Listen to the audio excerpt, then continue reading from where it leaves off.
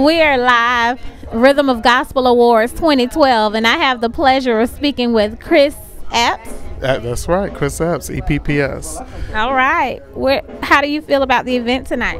The event so far is awesome. A good, good showcasing of independent artists and the movement that we are making in the industry. It's nice to definitely receive an acknowledgement by a organization that understands the work and it has an appreciation for independent artists like myself.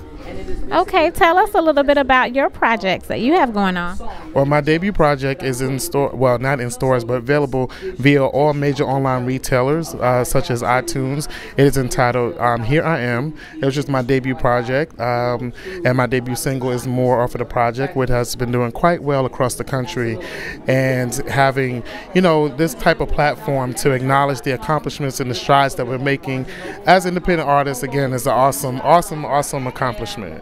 And wow. Well, speak it into existence because it is going in stores, right? That is correct. As soon as I get a distribution deal. but uh, yeah. Soon, soon coming. It is soon coming. Speak those things that are not as if they were. That's right. Well, enjoy the show and thank you for uh, interviewing with Shofar Media. Thank you so much. Appreciate it. Okay.